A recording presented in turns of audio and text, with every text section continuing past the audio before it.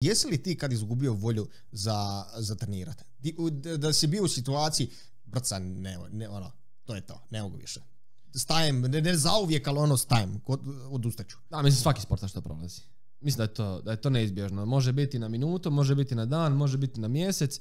Uvijek se vraćaš.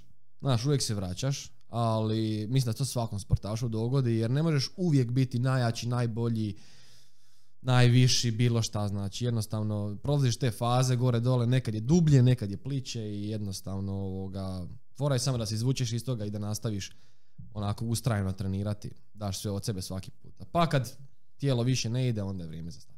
Što te, e, kad te ubijalo? Da li te ubio rezultat ili jednostavno ono došao trenutak gdje si se isforcirao i koja je situacija bila u neka prijelomna točka kao sad više sad sam out, sad ne mogu davati 100%, nego mogu 30 maksimalno ono sljedećih mjesec dana. Pa znaš, to isto mi je bilo ovoga različitih trenutaka što se toga tiče. Je, par puta mi je, naš, padala kiša, pa, pa mi motka izletila iz ruke. Pa sam se ona, razbiješ se i nije ti dobro i jednostavno dobiješ neku blokadu u glavi pa ti onak psihički ne odgovara više pa dobiješ tu demotivaciju. Onda se zasitiš jer konstantno putuješ sa motkama gdje ti avioni neće prihvatiti motke, putuješ preko noći, e, pa sam znao prespavati na aerodromu zato što taj avion nije mogao prihvatiti motke, pa onda drugi dan moliš avion da ti prihvati motke, a mogu prihvatiti, samo nisu htjeli.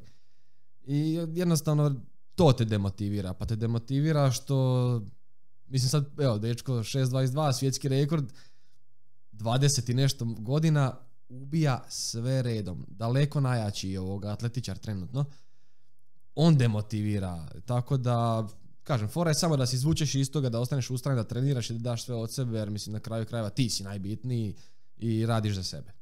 Treba si ti čovječeni ljudi se igrati. Treba